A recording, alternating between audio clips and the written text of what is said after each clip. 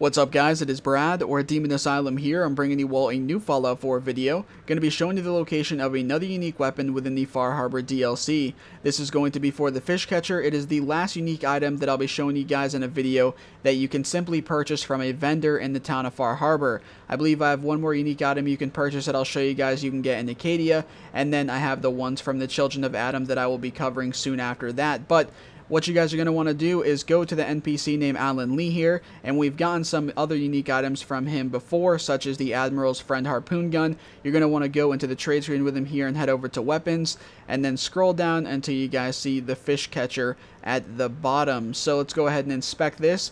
The Fish Catcher 40% less action point cost. So when it comes to melee weapons, obviously your AP gets used up decently quick. Uh, with this weapon though, because of that 40% less action point cost, you are going to be able to get a lot more swings out with this weapon. Down in the bottom left hand corner, we have damage 207. The speed is slow, unfortunately.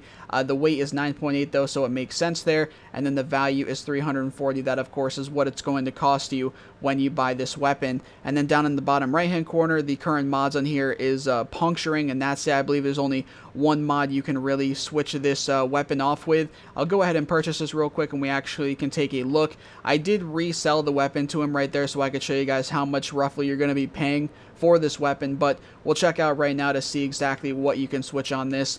Uh, maybe it started with no upgrade. I think it probably started looking like this with no upgrade. So the value might be a little bit less than what it normally would be when you purchase it from him, meaning that you're just going to be spending less caps when you buy it from him if you decide to. That's a good thing, obviously. And then the one mod that you can get here, like I said, is puncturing, which is armor piercing and superior damage. Uh, it actually makes quite a difference here. As you can see, you go from 138 to 207. So definitely something to take note of there. Uh, that that is a mod I probably put on the weapon and not a mod that starts with it. So if you guys are going to get this weapon, make sure to put that mod on there. Anyway, guys, that's going to be about it for this video. If you've enjoyed or found this helpful, feel free to drop a like on it down below and subscribe for many more Fallout 4 videos to come. Thanks for watching, everyone, and peace out.